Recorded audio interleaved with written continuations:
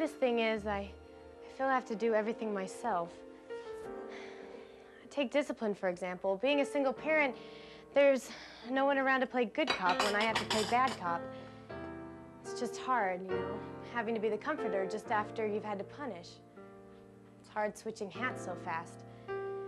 And uh, being alone in the house with my daughter, and I have to be the protector, and yet I'm scared to death of every little single noise and squeak. When I took my second job, I, I kind of got this superwoman complex, like I had to be in control. And when I find that uh, people ask if they can do anything, I, I just won't accept their help. Yet inside, I'm dying for support, emotionally and physically.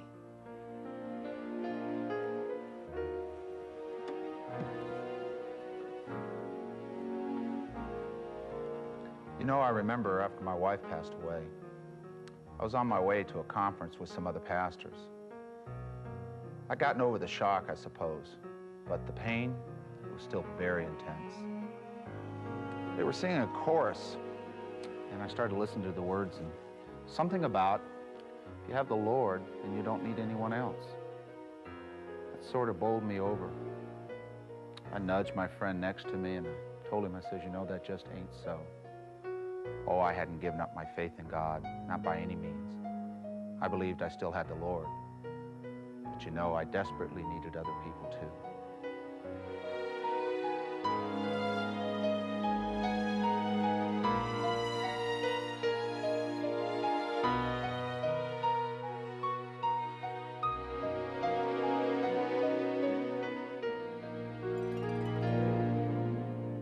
Il est écrit, je suis José Élisée et je vous propose la solution à vos besoins les plus profonds, le Christ vivant. Notre sujet aujourd'hui, vivre pleinement la solitude. 7 millions de foyers dans lesquels vivent des enfants de moins de 18 ans aux États-Unis sont des foyers monoparentaux. Le nombre de mères dont la situation ressemble à celle dont nous venons d'entendre la description est légion. Elles doivent tout faire toutes seules. Un nombre élevé de pères font face au même problème. La proportion de population vivant seule a explosé en Amérique. En trois décennies, elle est passée de 4 à 9 millions et demi d'individus. Un nombre impressionnant de personnes ayant perdu leur conjoint, soit par décès ou divorce, ou simplement parce qu'elles n'ont pas trouvé l'âme sœur, font face au dilemme d'être à la fois seules et entières. Et pourtant, notre société envoie un message très fort à ces personnes seules. Tous, depuis les feuilletons d'Hollywood jusqu'aux repas communautaires des églises, tous envoient un message clair et fort. Vous n'êtes rien tant que personne ne vous aime, vous ne cadrez pas dans le décor idéal tant que vous n'avez pas quelqu'un dans votre vie. Et ils font plus de dégâts qu'autre chose, ceux qui essaient d'apporter du réconfort en disant ⁇ Oh, appuyez-vous simplement sur Dieu ⁇ Mais pour vous qui êtes seul, Dieu semble très loin. Car dès que ces personnes vous ont gratifié de la solution, elles retournent à leur propre vie de famille, vous infligeant comme une gifle le rayonnement de leur propre bonheur.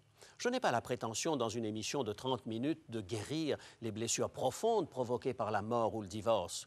Quoi que l'on fasse ou quoi que l'on dise, l'absence de l'autre demeure.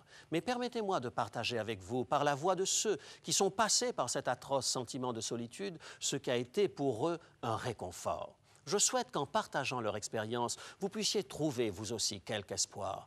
Je suis aussi heureux de vous offrir un livre intitulé Rencontre avec le Christ. Ce livre vous apportera des réflexions inoubliables sur le caractère de Dieu et l'impact qu'a eu dans la vie des gens ordinaires leur rencontre avec le Christ. L'auteur de ce livre a su donner à des personnages comme Zachée, Marthe, Marie, Pilate, Nicodème une présence qui les rend infiniment proches de nous.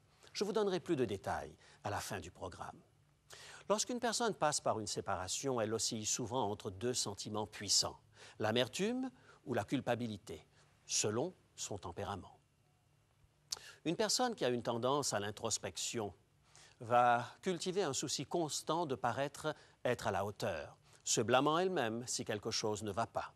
Ces gens associent leur solitude à une culpabilité chronique. Si j'avais été une meilleure épouse ou un meilleur époux, mon conjoint ne serait pas parti. Si mes enfants n'avaient pas eu à subir les conséquences de mon divorce ou du décès de mon conjoint, ils n'auraient pas un comportement asocial. Si seulement j'étais un meilleur parent, si seulement, si seulement, si seulement. Et c'est une auto-flagellation permanente. La culpabilité est un outil voulu par le Créateur lorsqu'elle est la voix de notre conscience et qu'elle nous indique une correction de trajectoire nécessaire. Mais lorsqu'elle se transforme en fausse culpabilité, elle devient un pesant fardeau. Ne laissons pas la culpabilité faire de notre vie sa résidence permanente. Ne laissons pas cette voix pernicieuse nous seriner sans cesse que nous ne sommes rien et que nous ne méritons pas d'être heureux.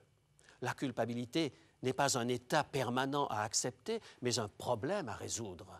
Et la solution se trouve dans la grâce et le pardon de Dieu. Certes, nous avons commis des erreurs. Certes, nous sommes malheureux de voir comment les choses ont tourné, mais Dieu nous donne dans le premier chapitre de l'épître de Jean, au verset 9, la solution à la culpabilité. 1 Jean chapitre 1 et le verset 9. Si nous confessons nos péchés, il est fidèle et juste pour nous les pardonner et pour nous purifier de toute iniquité. Si nous acceptons de lui confesser nos erreurs, il nous pardonne. La confession produit le pardon et la purification. Alors, résolvez le problème de la culpabilité. Ne vous contentez pas de la transporter sur votre dos partout où vous allez, espérant sans vraiment espérer qu'elle disparaîtra d'elle-même. Les extravertis, à l'inverse, toujours occupés à penser que les autres ne sont pas à la hauteur, trouvent pour chaque circonstance malheureuse de leur vie un bouc émissaire. Elles blâment sans cesse les autres et génèrent inconsciemment un type de relation dans lequel elles rendent les autres responsables de leur bonheur. Ce sont ceux qui tomberont aisément dans l'amertume. Si mon ex n'avait pas été aussi insensible, nous n'en serions pas là. Si je n'avais pas eu autant d'enfants, si j'avais pu terminer des études, et si, et si, et si, cette amertume est aussi un problème qui doit être résolu. Si nous laissons l'amertume s'installer en nous, elle finira par avoir une existence autonome, et très vite le monde entier semblera être contre nous. Comment faire face à cette amertume?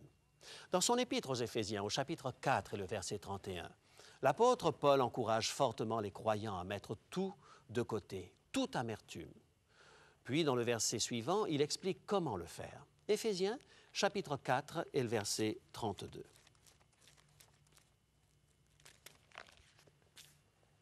Soyez bons les uns envers les autres, compatissants, vous pardonnant réciproquement, comme Dieu vous a pardonné en Christ. Se pardonner les uns les autres comme Christ nous a pardonné. Voilà le secret, mes amis. Dieu a répandu sa grâce sur nous en Jésus-Christ. Permettez à une partie de cette grâce de se répandre sur les autres. Oui, votre ex a pu avoir été insensible, mais à moins que vous ne tiriez un trait sur cette blessure, à moins que vous ne pardonniez, vous resterez dépendant de cette relation pour le reste de votre vie, ruminant votre amertume. Ces deux pièges, culpabilité et amertume, proviennent en fait de la même racine, le besoin de rendre quelqu'un responsable de notre chagrin.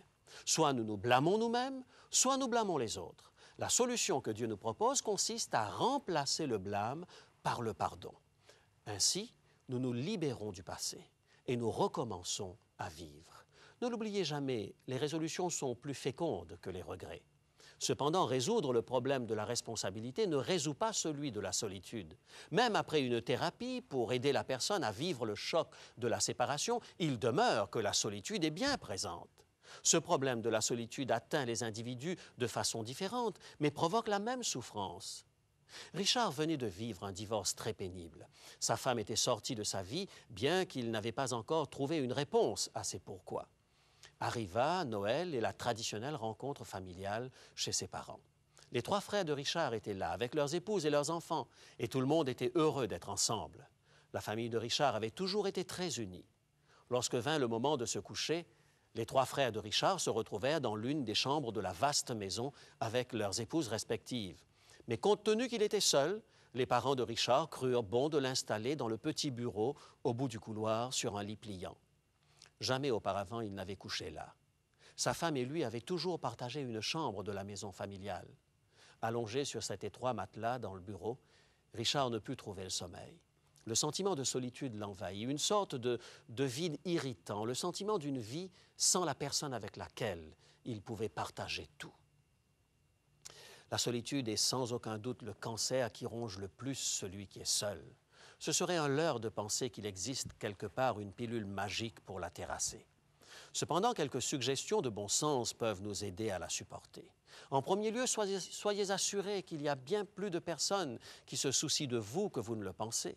Votre entourage peut parfois paraître insensible ou indifférent à votre solitude, mais derrière cette apparente indifférence se cache bien souvent une difficulté à trouver les mots et les attitudes qui conviennent. Lorsqu'on a tendance à commettre des gaffes, un peu à la manière de cette jeune personne qui, rencontrant sa meilleure amie frappée peu avant par un deuil, lui déclara enthousiaste Comme je regrette de n'avoir pas pu être là, ça m'aurait fait tellement plaisir. Bien sûr, ce n'était pas ce qu'elle voulait exprimer. Mais on peut comprendre qu'après une telle bourde, cette personne considère comme plus judicieux d'éviter des situations semblables. Par ailleurs, notre société ne donne pas toujours la possibilité d'accorder le temps nécessaire à celui qui souffre de solitude.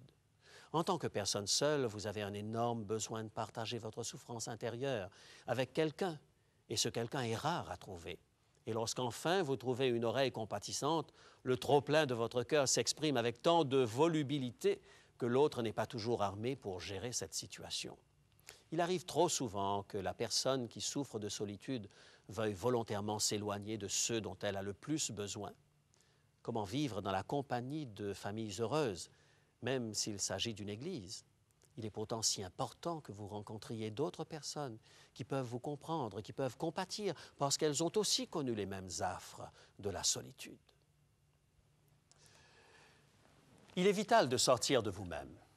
Voici comment s'exprime une femme seule. Je n'ai jamais voulu me joindre au groupe de personnes seules de l'Église de mon quartier. Tous semblaient si désireux de me trouver un compagnon. Le groupe se concentrait sur les problèmes et chacun répétait inlassablement comment il avait été maltraité.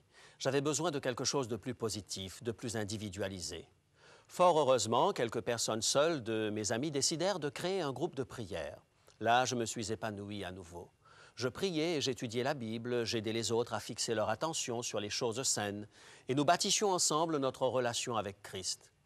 Nous avions mieux à faire que de tourner en rond en nous plaignant tout le temps. Au lieu de déprimer, je pouvais faire le plein et aider d'autres à avancer. Bien sûr, j'aurais pu me concentrer sur les pourquoi, mais cela ne faisait qu'empirer ma solitude. Quand j'ai tendu ma main vers quelqu'un d'autre, je me suis senti mieux. Ce petit groupe nous a permis de grandir plus que nous n'aurions pu le faire individuellement. C'est un fait certain que bien des personnes seules pourraient tirer un grand bénéfice d'un groupe de prière. La compagnie de gens avec lesquels vous pouvez étudier et prier peut vous aider dans votre travail de deuil. En témoigne l'expérience vécue par ce père seul. Je dois vraiment remercier Dieu, dit-il, pour le don de certaines personnes, des plus précieuses. On m'a souvent dit, que puis-je faire pour vous aider? C'est difficile de répondre à une telle question. Par contre, il existe des gens qui, sans poser de questions, agissent tout simplement. Tel est le cas de Jean et de sa femme, qui chaque dimanche avaient pour habitude d'emmener mes enfants chez eux, manger des crêpes. Ensuite, ils passaient l'après-midi dans un parc jouant au softball. Vous n'imaginez pas ce que cela représentait pour moi d'avoir un peu de temps rien que pour moi. C'était vraiment un moment où je pouvais recharger mes batteries. De petits événements inattendus m'ont réellement touché, je me souviens de cette simple carte que j'ai reçue d'une amie de la paroisse qui me disait nous avoir vus dans un centre commercial. Elle me disait qu'elle s'était arrêtée un moment pour nous regarder et qu'elle avait été frappée par le fait que nous semblions tous nous aimer et apprécier de jouer ensemble. Elle me disait son admiration pour le bon travail de père que j'assumais. Et elle ajoutait Je prie pour vous et pour les enfants. Cette simple note fit la joie de ma journée. En fait, je pense qu'elle a ensoleillé tout mon mois nous tendre la main pour former une meilleure famille, nous tenir ensemble pour soutenir ceux qui trébuchent, prendre dans nos bras ceux qui se sentent seuls, encourager ceux qui sont sur le point de lâcher, voilà ce que signifie s'aimer les uns les autres, comme Christ nous a aimés. Si peu de gens apprécient la solitude, ils sont cependant en mesure de comprendre que la solitude pourrait devenir un atout. Même si le don authentique du célibat est peu répandu, il demeure que le célibat est un don. En d'autres mots, le célibat peut nous conduire vers notre Père céleste. Les personnes seules peuvent faire l'expérience de l'amour du Père céleste d'une façon que peu d'autres personnes peuvent réaliser. Il y a un magnifique passage dans le livre d'Ésaïe, le chapitre 54, versets 4 à 8, qui nous suggère cette pensée. Ésaïe, chapitre 54, les versets 4 à 8.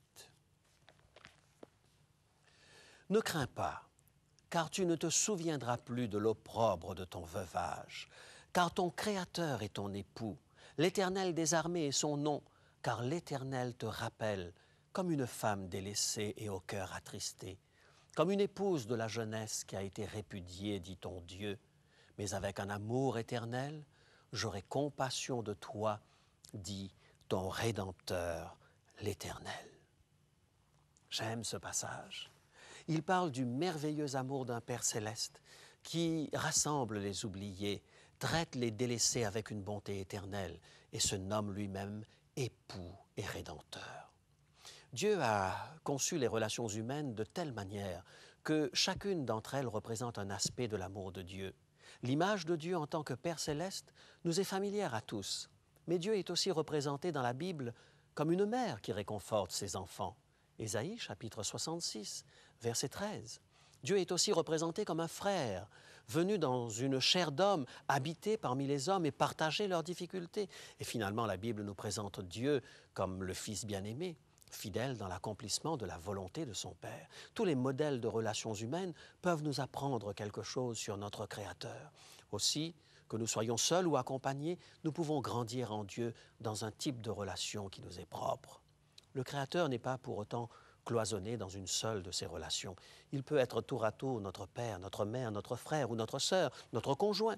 Il peut manifester la plénitude de son amour pour nous de la manière qui lui semble la plus appropriée à nos attentes. Si l'une des formes de relation privilégiée est brisée, Dieu peut intervenir et combler le vide. Il a promis d'être tout ce dont nous avons besoin. Notre souffrance peut devenir une opportunité pour notre Père céleste d'établir une nouvelle relation avec lui. Notre solitude peut nous aider à connaître Dieu d'une façon que nous n'aurions jamais soupçonnée autrement. Bilkis Sheikh, une noble dame musulmane, conduisit un jour son petit-fils dans un hôpital chrétien à Rawalpindi, au Pakistan, pour un examen des oreilles. Son mari l'avait quittée quelques années auparavant. Elle était très respectée dans sa communauté. Elle habitait une très belle maison, avait à son service de nombreux serviteurs et des servantes et possédait beaucoup d'argent mais elle ne pouvait se débarrasser d'un cruel sentiment de solitude. Elle avait tout dans ce monde, sauf quelqu'un à qui demander comment ça a été aujourd'hui.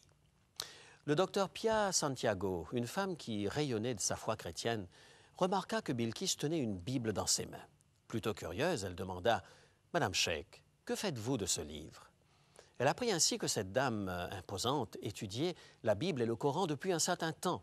Elle cherchait sincèrement Dieu, mais elle cherchait en fait quelque chose qui lui semblait ardu.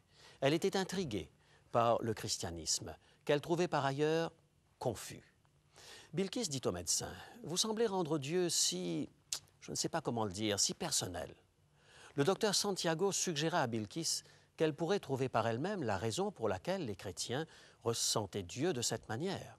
Elle lui dit, Pourquoi ne priez-vous pas le Dieu que vous cherchez? Parlez-lui comme s'il était votre ami. Bilkis sourit simplement, avec un peu d'indulgence. C'était comme lui dire d'aller parler au, au, Taj Mahal.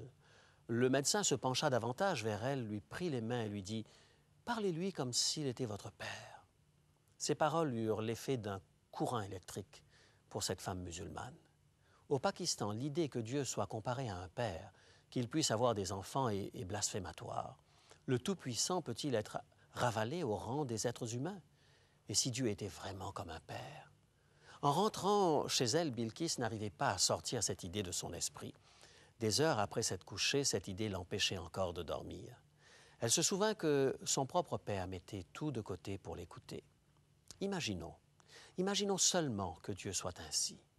Finalement, peu après minuit, Bilkis se leva et s'agenouilla sur le tapis au pied de son lit.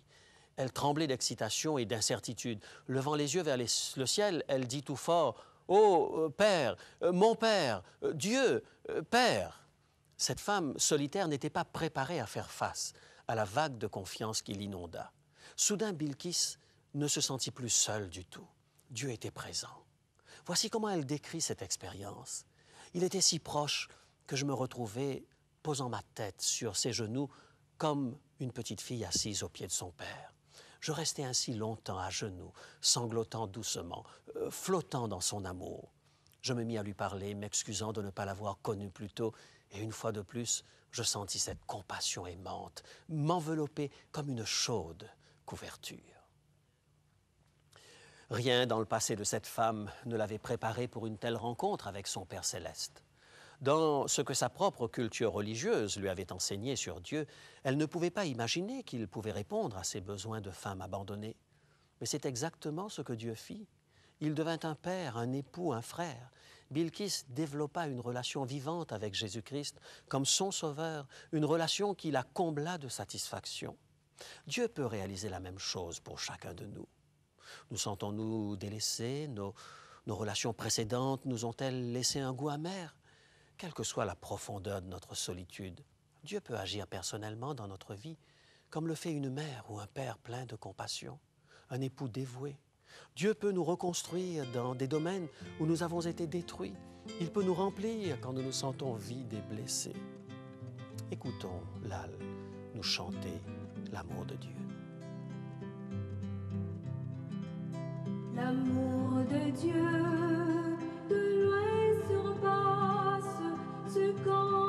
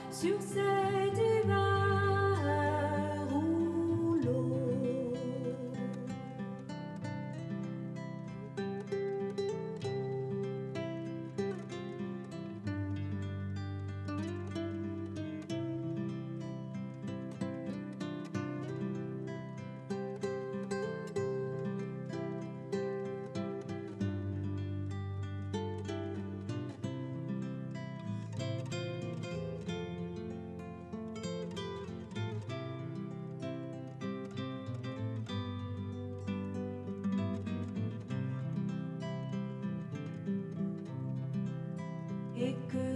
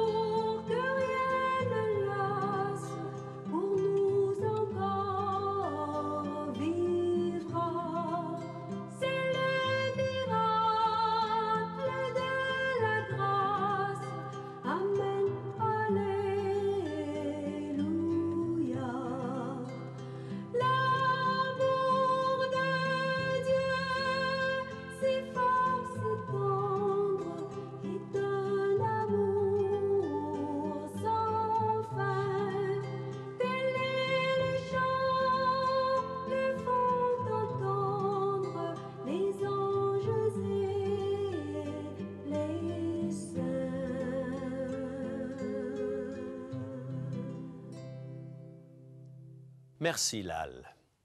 Tendre la main aux autres est un point de départ de notre approche de Dieu. La guérison commence quand nous sommes en contact avec le grand médecin. Lui seul peut rétablir en nous des relations saines à travers lesquelles il peut se révéler. Voulez-vous que nous commencions ce processus alors que nous prions ensemble? Notre Père, un grand nombre parmi nous ont été trop longtemps seuls dans leur voyage de la vie. Nos attentes n'ont pas toujours été comblées. Nos désirs les plus profonds sont restés trop souvent à l'état d'embryon. S'il te plaît, commence en nous maintenant cette œuvre de restauration. Permets-nous de découvrir que tu peux être pour nous l'époux, le père, le frère qui nous manque. Ouvre-nous à ton amour. Apprends-nous à tendre la main aux autres et à retrouver ainsi l'intégrité de notre personnalité. Au nom de Jésus. Amen.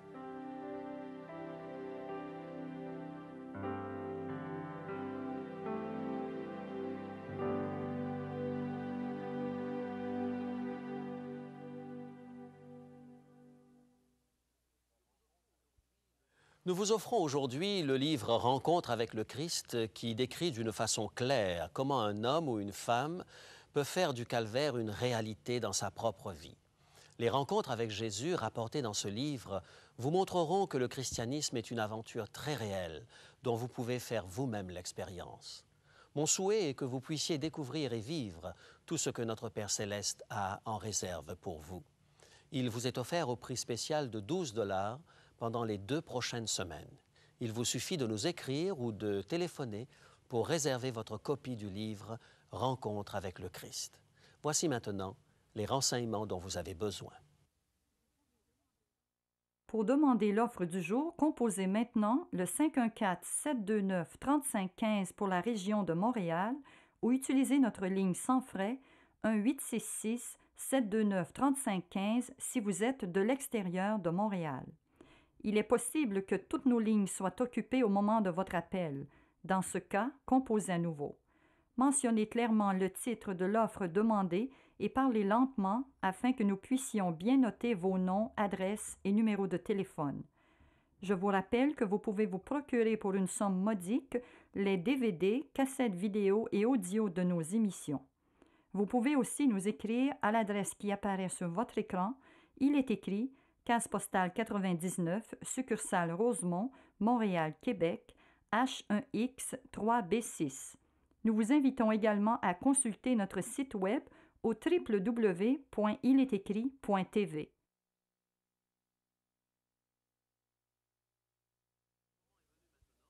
Le moment est venu maintenant de nous séparer. Je vous dis à la semaine prochaine, mes amis. Et souvenons-nous, il est écrit, L'homme ne vivra pas de pain seulement, mais de toute parole qui sort de la bouche de Dieu.